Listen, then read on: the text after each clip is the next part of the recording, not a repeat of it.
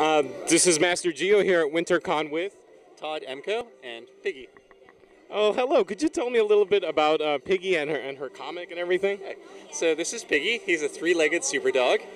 Um, he's from the Dominican Republic, and we found him a month after he got hit by a car. So that's why he only has three legs. And so we brought him back, and he made this amazing recovery. Um, but then we thought, what happens to all those other animals that are still there, you know, that just don't have another choice? So he inspired us to create a series of free animal clinics in places where there was no other options. And we actually turned him into a comic humane education program to teach all these people how they can take care of their animals, what to do when they get sick, all that stuff.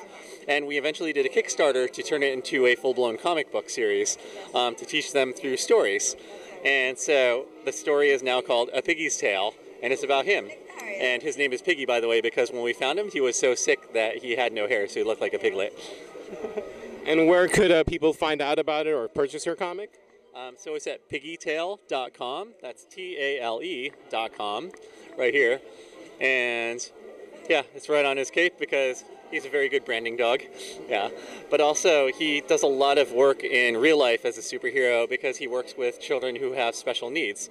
So he works with children who have had like traumatic injuries. Um, he works at schools and hospitals for special needs kids. Um, and he shows them that even after you've had something tragic happen to you, you can still be super and amazing and happy. And so he inspires the kids to not just do more than they thought they could, but also think, well, if I work through this, maybe I can be happy too at the end, which is something that a lot of them never thought of. And so in real life, he's a real life superhero. Well, he's very sweet. Um, he's very calm. Very.